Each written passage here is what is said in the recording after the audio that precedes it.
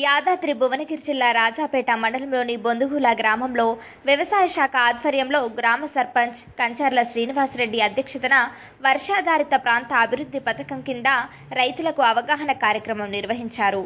ఇక దీనిలో భాగంగా ఉద్యానవన శాఖ కూరగాయల పంటల సాగుకు సంబంధించిన కూరగాయల విత్తనాలు మరియు యాభై శాతం రాయితీపై రైతులకు అందుబాటులో ఉంటాయని సహాయ వ్యవసాయ సంచాలకులు యాదగిరిగుట్ట డివిజనల్ డి పద్మావతి వివరించారు. ఇక ఈ కార్యక్రమంలో ఎంపీపీ గోపగాని బాలమణి యాదగిరి గౌడ్ గ్రామ సర్పంచ్ కంచర్ల శ్రీనివాసరెడ్డి గ్రామ ఉప సర్పంచ్ గ్రామ రైతులు గ్రామ ప్రజలు